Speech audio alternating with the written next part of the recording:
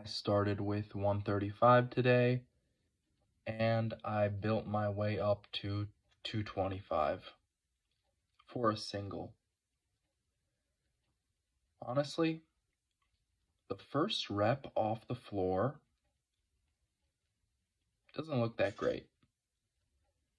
However, the following reps seem to look quite a bit better in my opinion.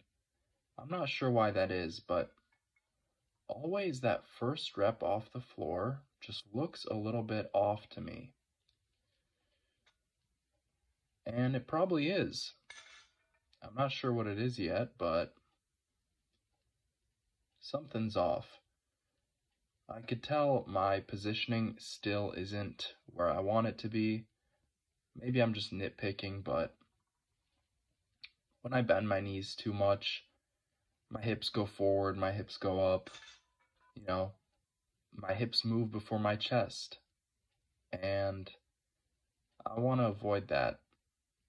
I don't want to have like a real super good morning like stiff legged deadlift, but maybe that's what I need just to solidify this form. And of course, repetition, practice, practice, practice. I'll get there eventually.